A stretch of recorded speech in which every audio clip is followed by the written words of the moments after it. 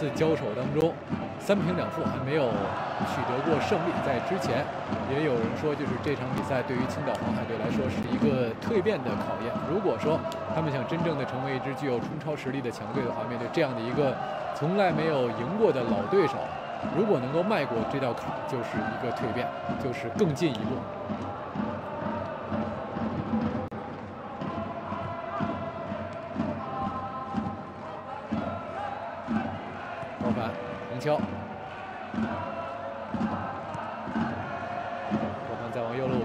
翔，高翔是想直接把球搓起来给拉基奇，禁区前犯规了，任意球，这个位置的任意球不错。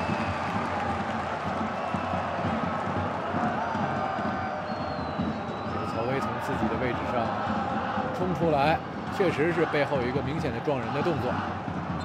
而且这次犯规确实没有太大的必要，因为本身青岛黄海队的这次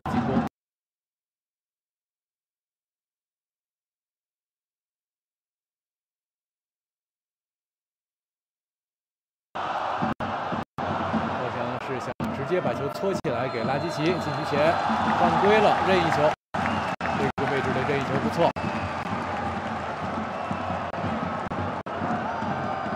这个曹威从自己的位置上冲出来，确实是背后有一个明显的撞人的动作。这次犯规确实没有太大的必要，因为本身青岛黄海队的这次进攻，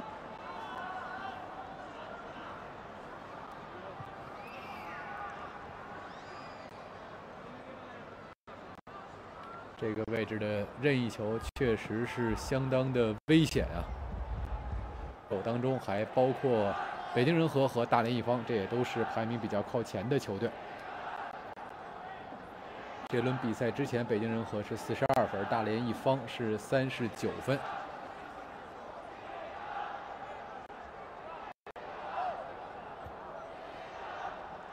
另外还有像海挺男，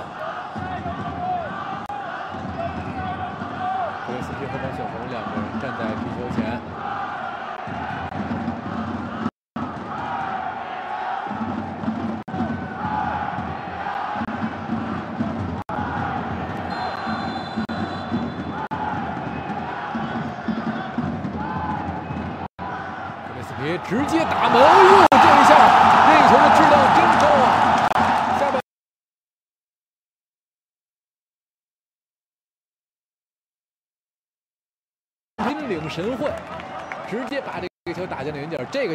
太干脆了。你看这个球在空中还是有一个弧线，完全骗过了朱亚军。克雷斯皮自己在这个赛季的第九个进球。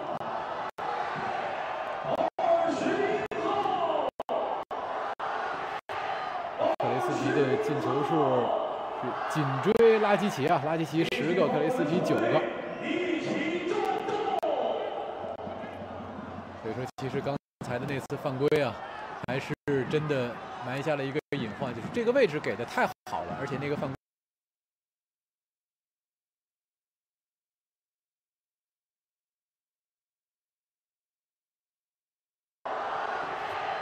克雷斯奇的进球数是。紧追拉基奇啊，拉基奇十个，克雷斯奇九个。所以说，其实刚才的那次犯规啊，还是真的埋下了一个隐患，就是这个位置给的太好了，而且那个犯规。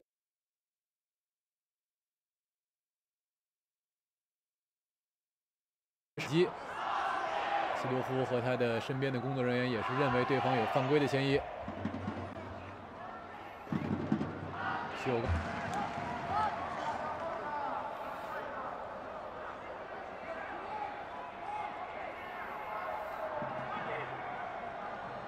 克雷斯皮上半场曾经挡出过对方的必进的射门，基本上是一个空门。克雷斯皮在球门前把对方的射门给挡住了。下半场要打进一球。上下半场各开始四分钟，青岛黄海队打进一球。看来这场比赛，这个青岛黄海队抢开度就更大了，零比一落后。还有机会，还有这个通过反击来实现进球的这样的可能性。零比二落后的时候，就必须要攻出去。这个球传的不错，又是阿布和布朗之间的配合。阿布右侧再往中间给的时候，青岛黄海队的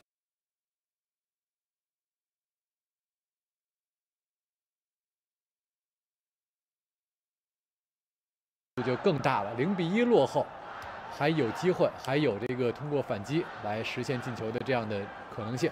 零比二落后的时候，就必须要攻出去。这个球传的不错，又是阿布和布朗之间的配合。阿布右侧再往中间给的时候，青岛黄海队的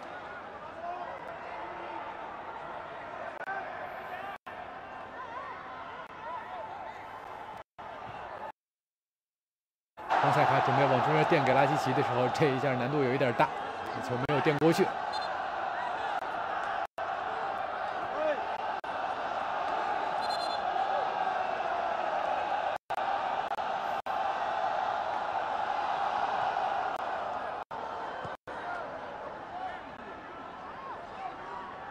高凡其实也是曾经在深圳队效力过一段时间。青岛黄海队这个三十三号高凡，两年之前曾经是在深圳队效力过。来到青岛黄海之后，在这个赛季上半程的那场比赛当中，他是因为停赛，所以错过了面对自己的老东家。这场比赛他也是面对旧主，但是到目前为止，高凡这边还并没有太多的发挥。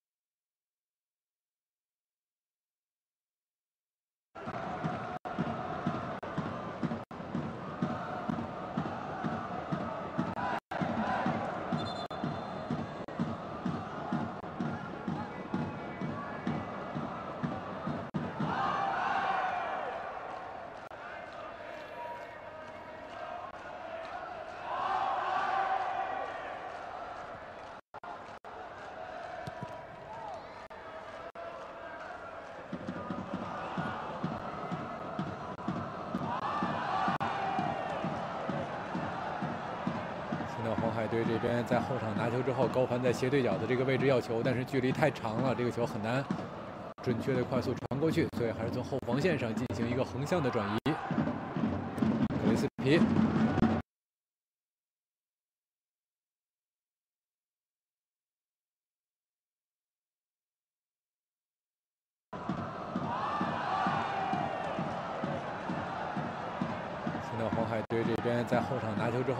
斜对角的这个位置要球，但是距离太长了，这个球很难准确的快，好像稍微的有一点松。但是有的时候足球场上经常有人说，这个二比零的比分是一个最不安全的比分，有一定的道理啊。比如说，就是二比零领先，可能认为这场比赛已经基本上没有没有什么问题了，一松之后，这个这个。紧张劲儿就很难再重新的再紧起来。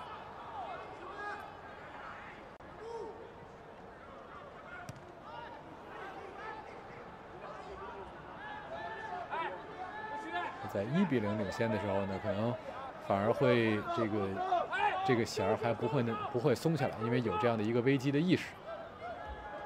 紧一点，紧一点，紧一点。估计他旁边就。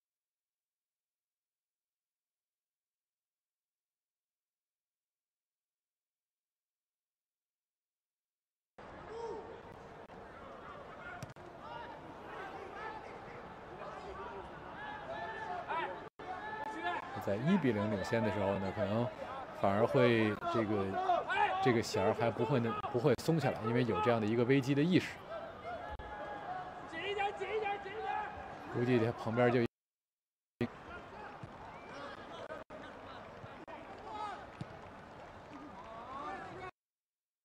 这样的任意球，但是这场比赛到现在，徐亮还并没有获得太多这个，并没有获得。位置不错的这个任意球，可以直接射门的这个位置的任意球。这个位置离球门也是有点远。哎，李飞准备过人的时候被断掉，不过青岛黄海队进攻的时候自己脚下也是绊了一下算，高兴。但是这一下快速的推进还是打过来了，高凡左侧到右侧的大范围的转移。王子宏在往禁区里边吊，埃尔顿一夫当关啊，在四个对方球员的包夹下，还是他高高的跃起来抢到了第一点。还在观察位置，左脚再起到后点，丰塞卡球停下来，助理裁判没有鸣哨，打回来给高凡。感觉这一下高凡自己是有一点犹豫。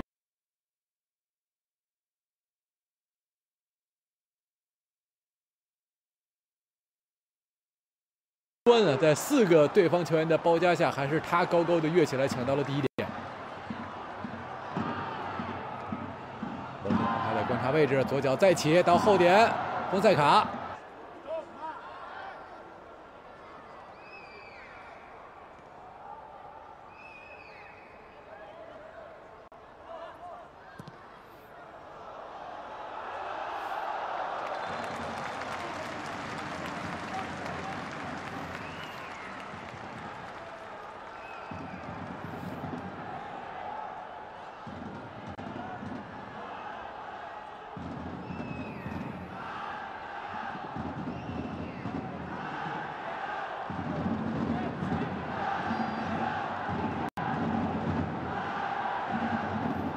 球，亚军的出击，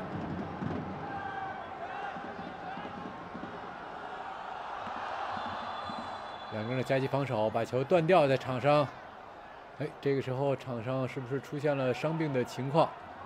所以主裁判牛明辉还是吹响了比吹响了哨，吹停了比赛。林思浩认为对方有犯规的动作，在言语上对裁判好像显得有一些不满。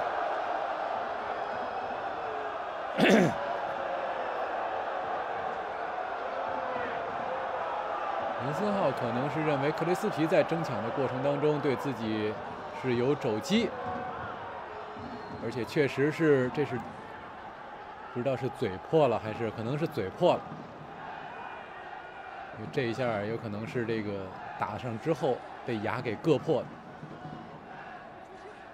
所以要先止血。林森浩需要先到场边去止血，看看是嘴还是鼻子。啊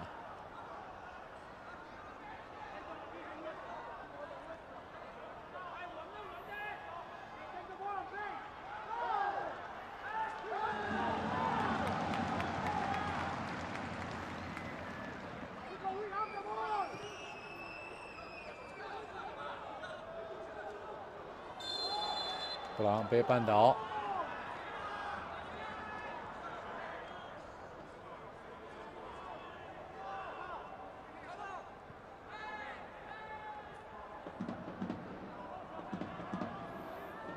要从个人的这个冲击能力上来讲，布朗和阿布这两个人的冲击能力确实是很强。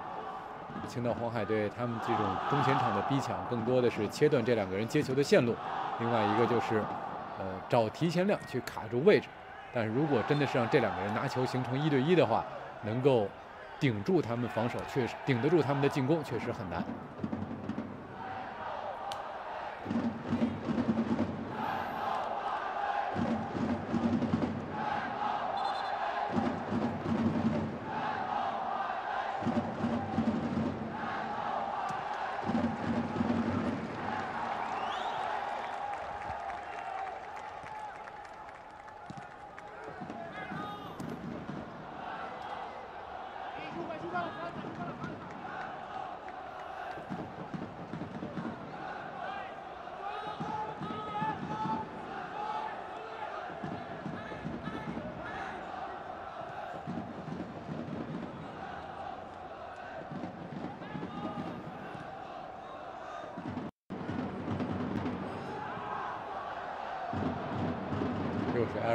球顶一下，高翔。哎呀，这一下啊，高翔还是没有观察到这个弧顶的丰塞卡的这个位置。这场比赛里面，丰塞卡有很多次抓空当跑到弧顶来了，但是没有人给他传。深圳佳兆业这边，二十一号蔡静元要替补出场，换下三号吕海东。这是这场比赛双方的第一个换人。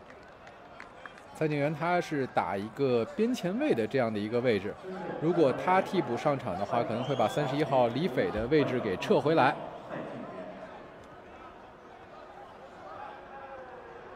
而如果他上场的话呢，可能像阿布或者是布朗，其中就得撤回一个人来和他打对应侧的这个边锋。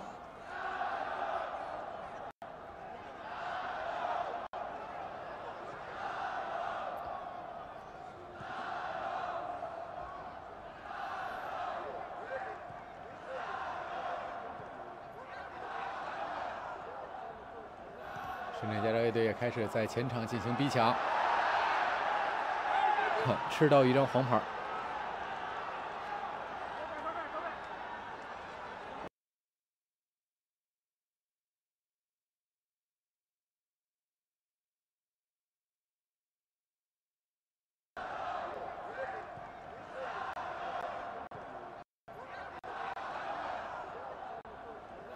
深圳佳兆业队也开始在前场进行逼抢。吃到一张黄牌。进攻端的一个绝对的核心，这场比赛在第六十三分钟就把他给换下来。这是第四分钟，王选红当时的那个进球，利用对方后防线上的混乱，抓住空档打进一球。对于下半场这个王选红状态有所下滑，可能乔迪也是通过这样的人员上的调整，让场上的球员重新紧张起来，重新兴奋起来。当然，在接下来的一轮比赛当中，青岛黄海队还将在客场面对他们的同城对手青岛中能，所以这些主力的球员可能也是想让他稍微的休息一下。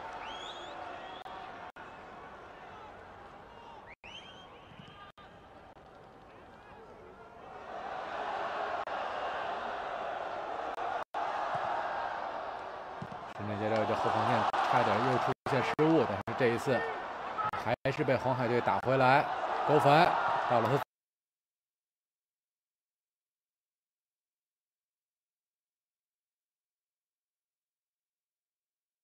休息一下。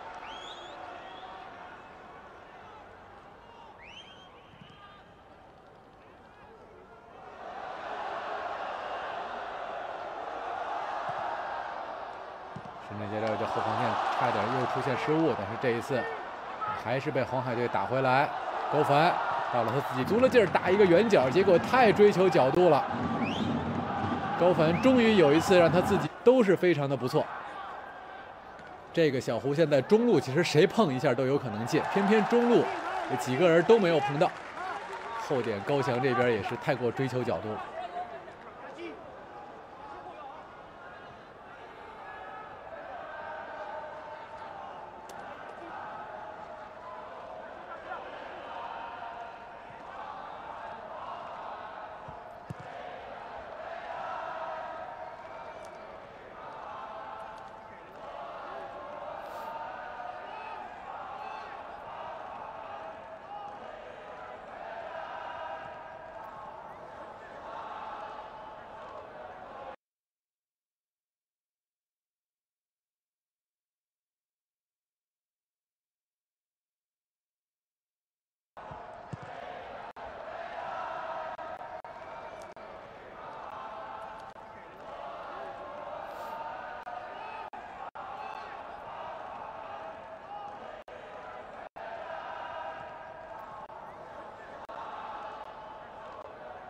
真没越位啊！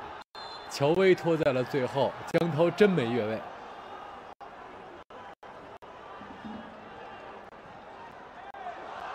乔威这场比赛。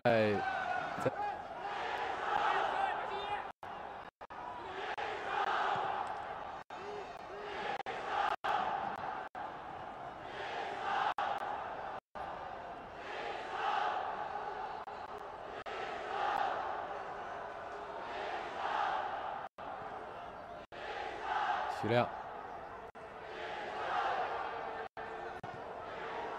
耿孝顺，这脚传球传的不错。耿孝顺看看他的起球能不能起来，还是。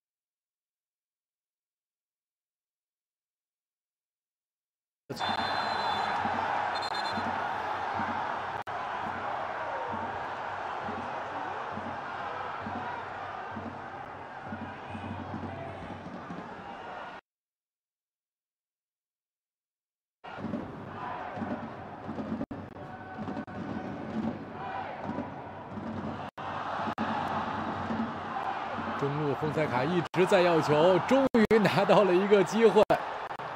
这是这场比赛丰塞卡多次迂回到中路之后，难得队友把球传到他的脚下。但是这个埃尔顿大个在门前一堵，像是显道神一样。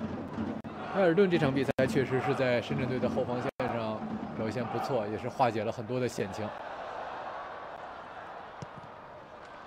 如果不是他的话，可能深圳队面。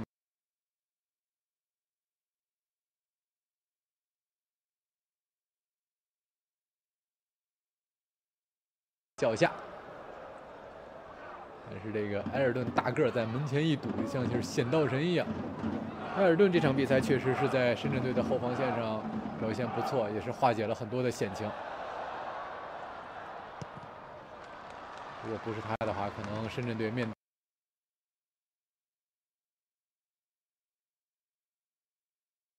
埃尔顿的腿给挡出来。埃尔顿单挑对方两员这个进攻的干将，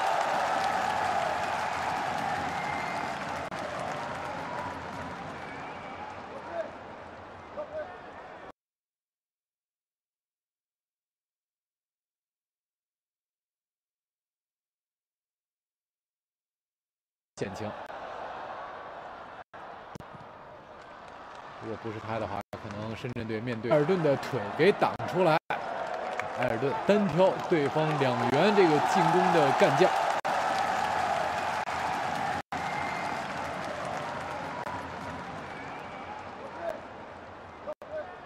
半场的那几次那么有威胁的反击，但是这和深圳佳兆业队早早的二比零。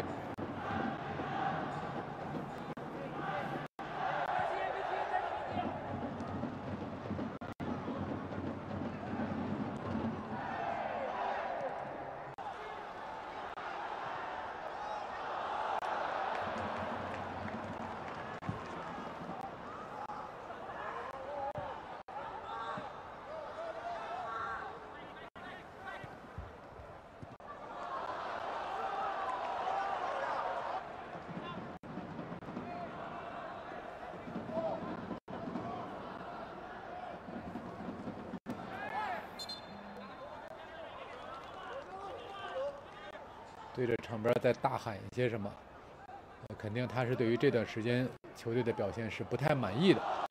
高翔的一个上抢，黄塞卡在腰外，高翔看看怎么处理这个球，还是想直接给拉基奇传，这么踢显得有点简单啊。在蒙选红下场之后，张家齐替补出场之后是站到这个后腰的位置上，和马兴玉组成了一个双后腰，所以等于是在进攻的这一点上。人员相对减少了，丰塞卡在中间，高凡和高翔一左一右，等于缺少了王选红这样的一个接应点。这个时候，在中路需要有人站起来承担这个拿球组织的一个角色，其实等于是一个进攻核心下去了，需要另外一个人承担起这个核心的任务。拉基奇手球。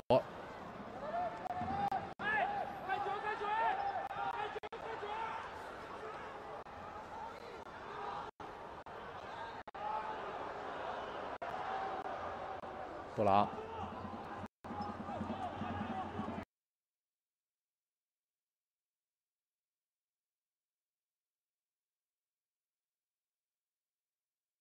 下去了，需要另外一个人承担起这个核心的任务。拉基奇手球，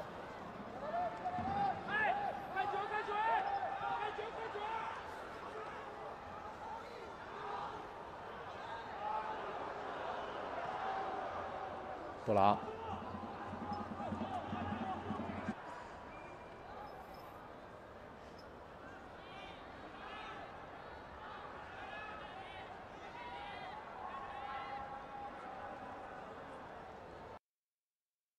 先看这个球，布朗右侧的传中，中路还是没有人能够接上。马兴宇的位置会稍微往前顶，但是总体来看，马兴宇跟张佳琪这两个人还是以防守为主。而且在进攻端上，确实从这个拿球球员的这种灵性来看，王显红是要强于其他的这个同一位置上的队友的。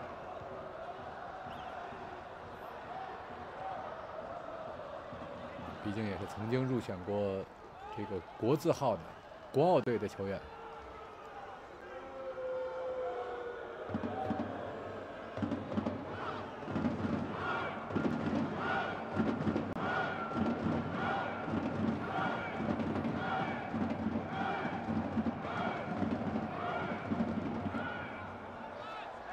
哦，这是布朗利用自。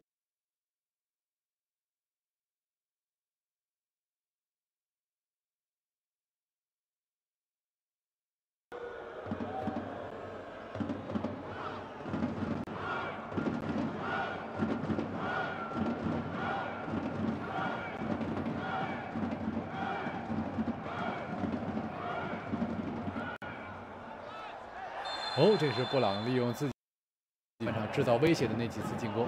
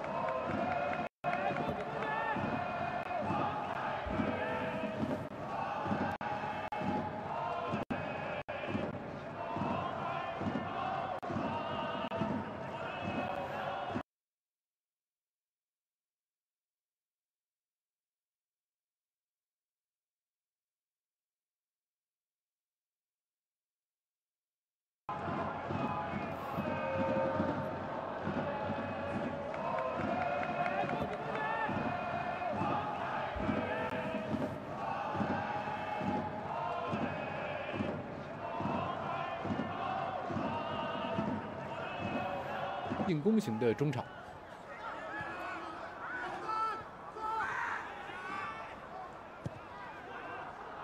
如果是这样的话，在中场的调整，徐亮的位置可能会进一步的后撤，由他和费玉两个人去打双后腰，谭明良、蔡静元、阿布、布朗这四个人在前顶在前面进攻。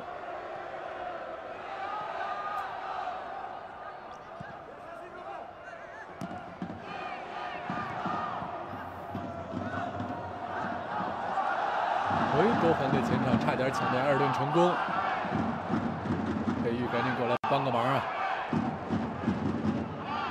蔡景元的位置向中路稍微的收了一下，这是想直接调门吗？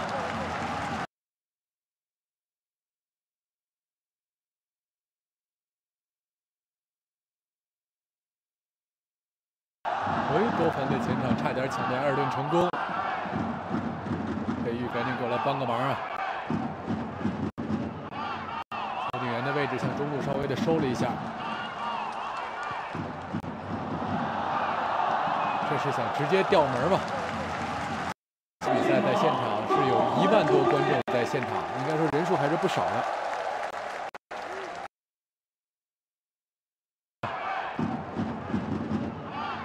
曹景元的位置向中路稍微的收了一下。是想直接吊门吗？比赛在现场是有一万多观众在现场，应该说人数还是不少的。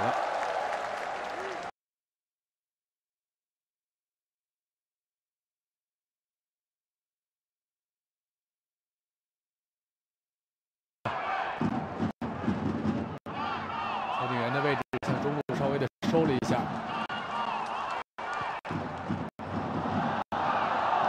这是想直接吊门吗？比赛在现场是有一万多观众在现场，应该说人数还是不少的。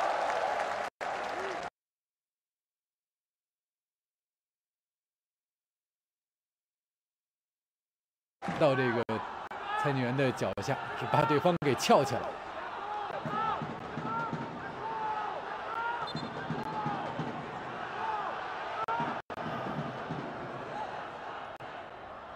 第一点是拉基奇抢到解围。嗯，这个位置给了对方一个任意球，到这个裁定员的脚下，是把对方给翘起来。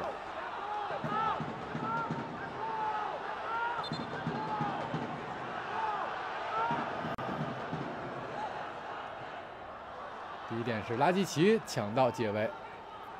嗯，这个位置给了对方一个任意球。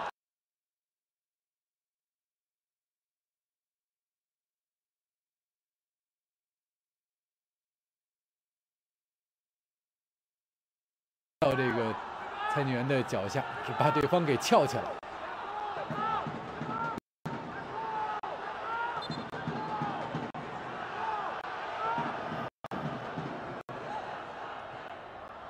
第一点是拉基奇抢到解围。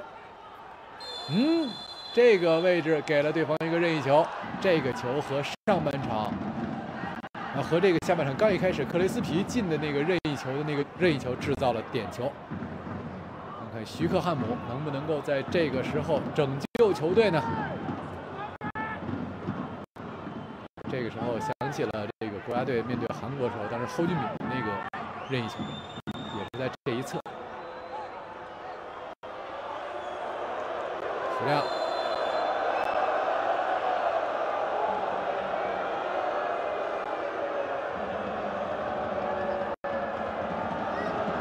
直接打门，这一下任意球果然质量很高啊！圆月弯刀兜了门将的左侧，这个球在空中有一个线。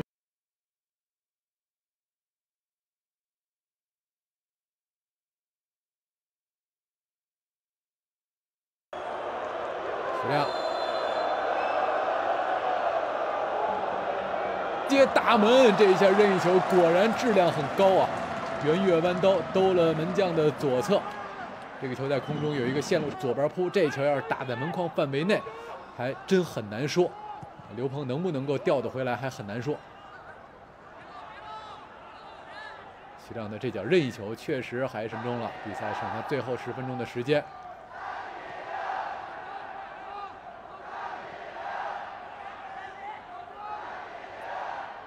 再起，克里斯皮，这一下自己打了，还有机会，又是一脚远射。现在感觉黄海队的球员是谁到禁区里边都想尝试着来一脚。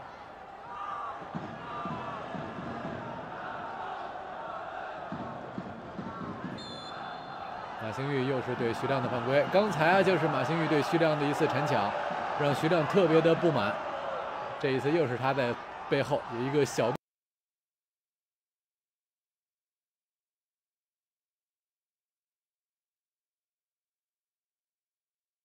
尝试着来一脚。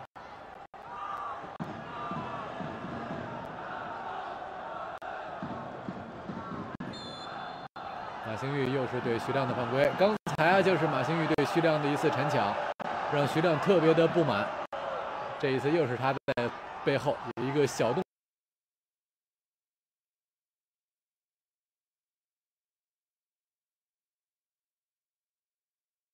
尝试着来一脚。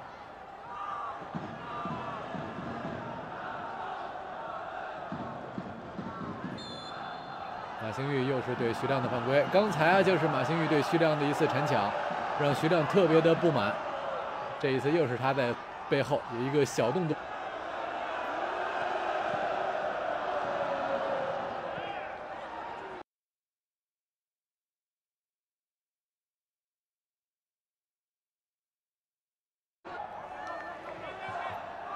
又是角球，陈斌良突然的一个变线，裁判应该是先吹了头球之前，手上。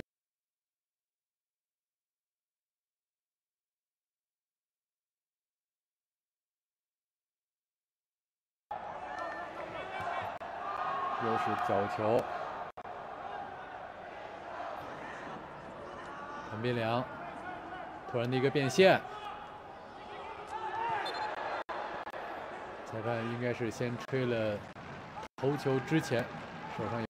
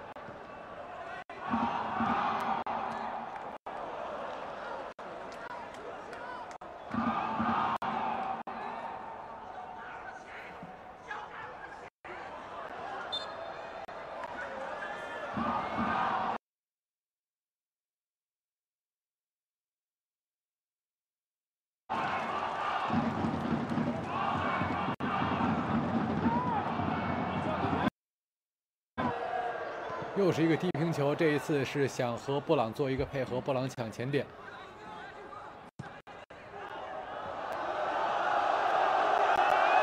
门将已经出来了，周亚军基本上是来到了中圈弧的附近。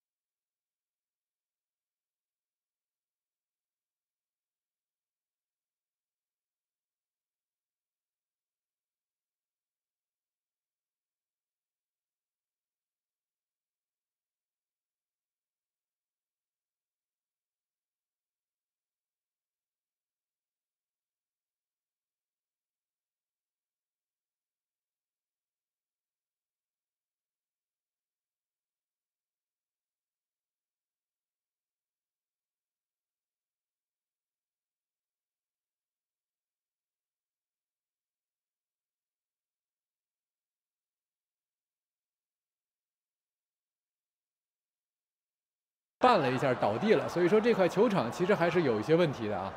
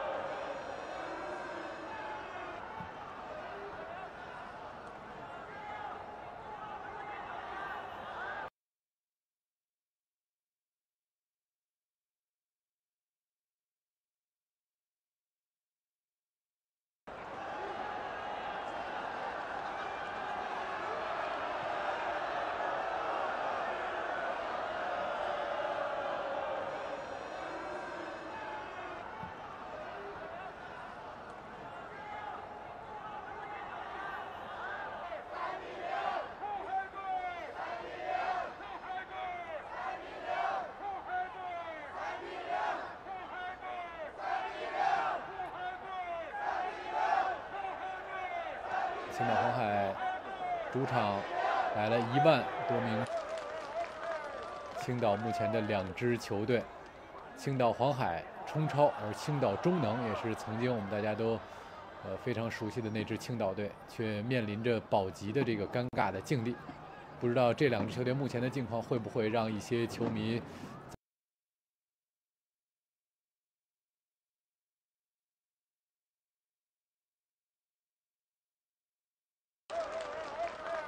青岛目前的两支球队，青岛黄海冲超，而青岛中能也是曾经我们大家都呃非常熟悉的那支青岛队，却面临着保级的这个尴尬的境地。不知道这两支球队目前的境况会不会让一些球迷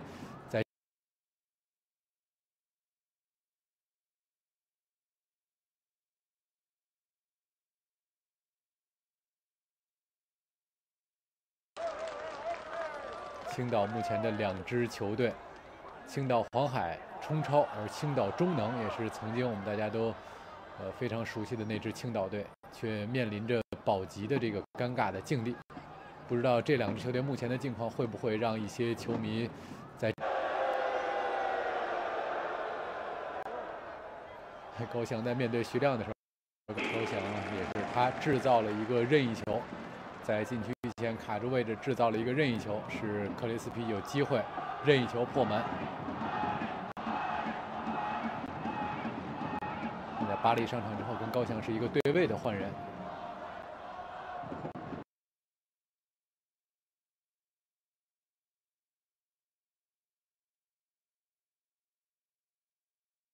高翔，也是他制造了一个任意球。在禁区前卡住位置，制造了一个任意球，是克里斯皮有机会任意球破门。现在巴黎上场之后，跟高翔是一个对位的换人。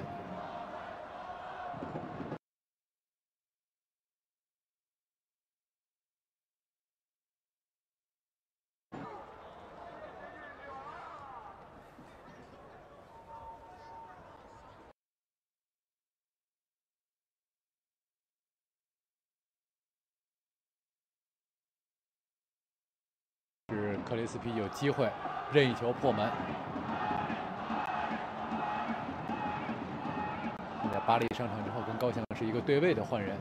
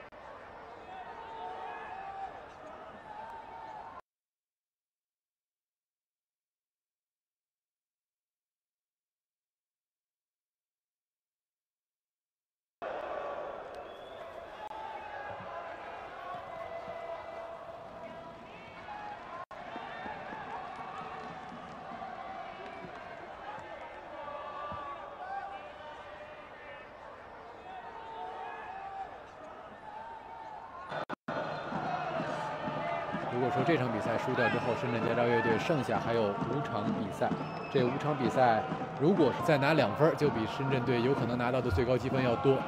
而另外像贵州恒丰智诚也是四十七分，呃，这场比赛之前这轮比赛前是四十七分啊。所以说，深圳佳兆业队这场比赛之后确实应该说冲超，呃，已经没有什么太大的希望。还是非常的激烈，甚至包括积四十二分的北京人和。北京人和因为在一场补赛当中也是战胜了呼和的中优，所以目前二十四场比赛之后是四十二分，比这个贵州恒丰和青岛黄海在这场比赛之前这轮比赛之前是少五分，也是有希望，就是四十分以上的这几支球队还都是有的一拼。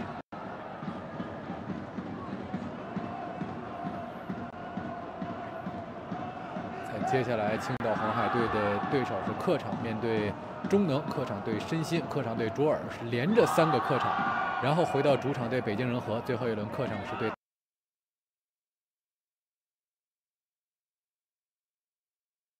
大尔顿的解围。所以，而且青岛黄海队是这个这个比赛是有四个客场，一个主场，所以说后面的比赛赛程对于青岛黄海来说。还是很艰难的这场比赛，他们最终是二比零在主场击败了深圳佳兆业。而接下来留给他们的考验还有很多。而深圳佳兆业队这场比赛应该说是在一个深圳佳兆业队是需要一步一步的做好自己，尽管冲超的希望非常渺茫了，但是也要一步一步的做好自己。好了，观众朋友们，感谢您收看这场比赛的转播，再见。